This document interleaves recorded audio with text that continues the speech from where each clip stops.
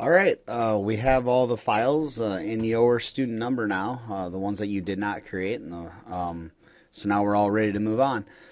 If we take a look, I'd like you to make sure and have this packet, your print packet, in front of you because it's very important to help us take a look at where the parts, first of all, what the number is of the part, because uh, you might have labeled things like part one, which is the column uh, and also where all these things fit together. So this thing kind of, uh, you know, this column fits into the base, and these this thing goes down in here and spins. The gear goes inside of here. The rack comes into the column. The cover plate holds the rack in place. So um, just kind of looking at where you created screw holes and things like that, and how all this stuff fits together. Because you always want to kind of work inside out. So I can't put the cover plate on until I put the gear inside of the counter bore. So just things like common sense. If you were going to put this thing together, uh, whenever you do an assembly in Inventor, you want to do it the same way, you know, that you would that way. So let's go ahead and, and get after it here. As soon as I get this thing off to the side. All right, so uh, you're going to go ahead and create a new assembly. So that's the one we're going to go to. And if that home screen wasn't up, uh, remember that uh, the inventor new command has some different uh, different looks. Just standard.iam. Okay, so all right, we got the a new a new assembly file uh, created. The first component you always want to put in is what we call the grounded components. The component that doesn't move. It's like the part that is the base or would sit on the table or, or however you want to look at it. So we come right over here to the top of this. We left click, place component. That is going to be called part two, the base. Well, makes sense. So uh, part two, the base. I'm going to click open. Now when this comes in, it kind of comes in, uh, it's cool looking, but it doesn't really give me a view of what I really want. So I, I'm going to just kind of drag the whole thing over until I get that home button, and then I'm just going to left click. Then you'll notice I'll drag it back and, and use my scroll wheel to kind of get it a little smaller. Uh, now I can kind of see this thing a little bit better. Now, before you left click, before you left click, I'm going to show you something. You can right click, which gives you more components, which is kind of a, kind of a nice thing. I like to always put my first part grounded at the origin. It makes sometimes it makes assembling things easier. So I'm going to go ahead. I, I right clicked and then I'll left click place grounded at origin. And that just puts that in there. Now you'll notice it wants me to put more of these in. I don't need to, so I could just right click and uh, and just cancel. So once I get one put in there. Now you'll notice that it has a little pin next to it in the uh, in the model tree, and that tells me that it's grounded, meaning I cannot move this part, which is good. That's what I want. So that way I can put all the parts around it. All right, so base is in. Let's go ahead and hit place again. This time let's go to, uh, we're going to put in uh, the column, part one, the column. Open. And if you look at this, if you look at the blueprint, you're going to notice that this thing, I drew this thing. Yours might be different than mine, but mine's mine's drawn this way, which is kind of opposite. A real easy thing that I can do right now is right click and I can rotate, see the y axis right here? I can rotate this part at 90 degrees. I can right click and rotate it again at 90 degrees on the y axis. And now this thing's gonna, that's the way it's supposed to go. So I'm just to kind of go off to the side, left click to place it. Again, it wants me to make another one. I can also, I can right click here and I can hit escape or escape on the keyboard right here. That'll cancel that.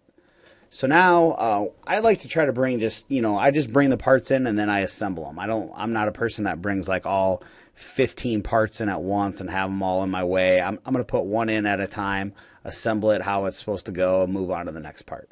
So let's talk about assembling.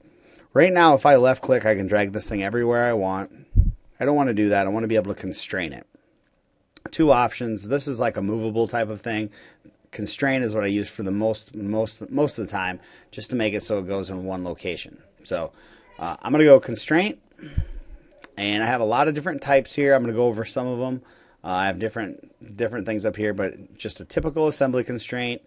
But uh, I like a really powerful tools. If you have any kind of holes at all, um, and this part has a lot of them, uh, insert is a very cool command. So I'm going to show you that one right away. When we did our puzzle cubes, we just basically did a lot of mates um, with solutions of mating and flushing things. But I'm going to show you these other ones.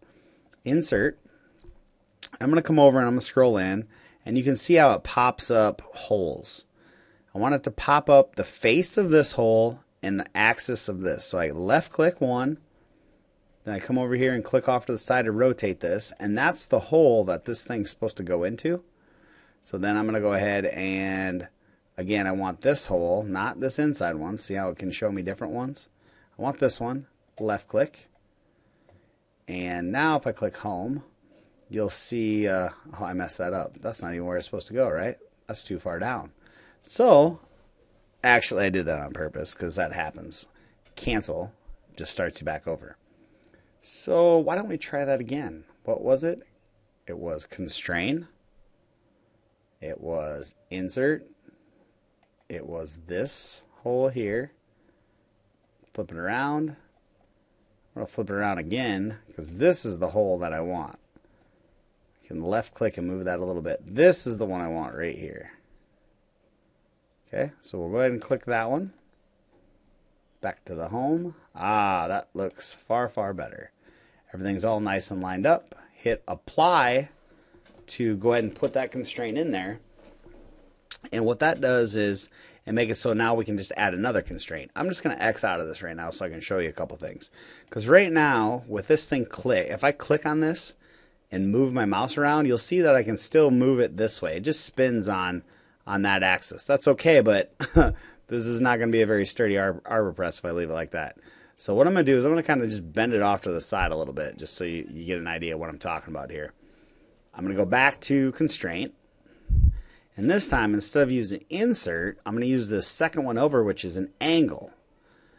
And now I can tell it to be at, you know, like a certain angle. So in this case, let's just say that the side of this and the side of the, I don't want this other side. I want like two sides that, that could, I could put like a square on if I was like building it.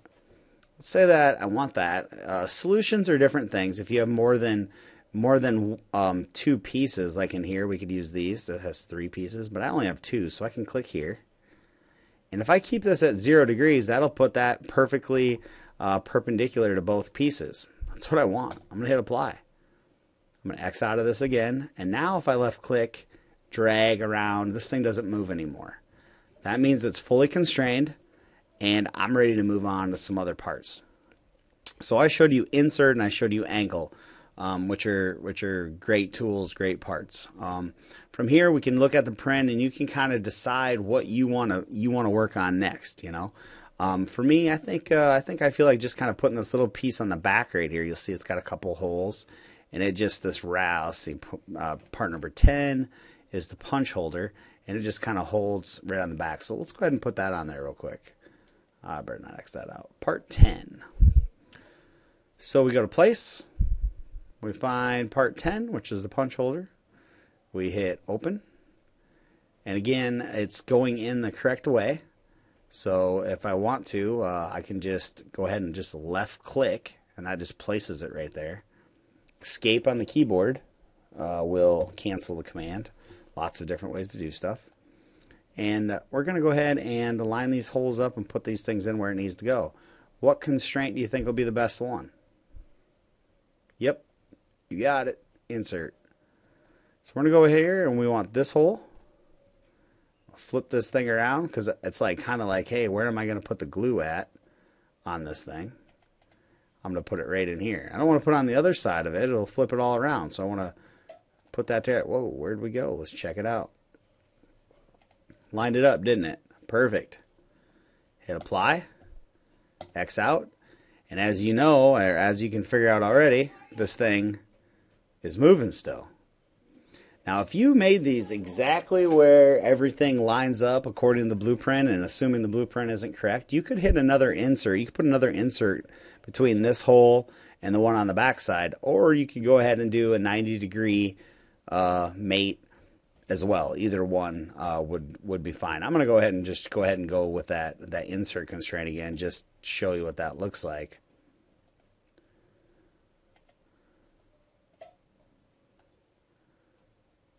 And again, if it does not preview, meaning it doesn't flip to where it's supposed to be, um, sometimes you can click this other um, these other buttons, and if it doesn't work, then that means something's wrong with your design. Meaning your holes aren't going to line up. That means you got to go back and fix something. So if that happens to you, that's the deal. I'm going to click apply, X out, and now this thing doesn't move anymore because it's kind of like putting two bolts in that hole, and uh, and life is good. So you can imagine, um, honestly, with those two different components, you you can pretty much do anything you want at that point. Um, once I've showed you those things. So I'm going to put one more part in and then I'm going to leave it up to you. I'm going to go ahead and put part number five. Uh, that's a part you did not create, part I created. So we'll go place. We'll go find that. That was one I took off the public. Five. I guess five one is what mine's called. That's fine. Open. So again, this thing's coming in a little funky. If I look at the design, um, it looks like the the chamfered side is supposed to be pointing up, and the and the gears go go towards the column. So I'm gonna right click. I'm gonna need to rotate uh, rotate this thing a little bit. I'm gonna need to rotate. Uh, it looks like to me, I want to flip the X up. So we're gonna go rotate the X up. Oh, I messed that up, didn't I? Right click again. We'll rotate the Z at 90. How am I doing? Pretty sweet, huh? So if you're like me and you're uh, uh, challenged here with the direction of things, rotate the Y. That works. It's upside down now, um, but it's going. It kind of needs to just be rotated around the axis here. So let's rotate the X.